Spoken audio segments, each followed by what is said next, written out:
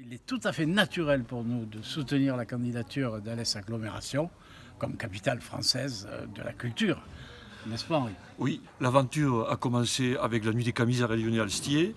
Elle se poursuit par le fantastique Festival du Vivre euh, Sciences Humaines qui a eu lieu à Alès euh, époustouflant, avec plus de 8000 visiteurs, un événement culturel qui, à ce titre... Qui est soutenu par l'aglo. Hein, qui est soutenu par l'aglo. Pour moi, il ne fait aucun doute que Alès euh, va être choisi comme capitale. Euh, je n'ai aucun doute, étant donné euh, tout, les, tout, le dossier que nous, présentons sur le plan national. Ben, écoutez, d'abord c'est l'agglomération d'Alès, je le répète. puis il est évident que nous allons gagner.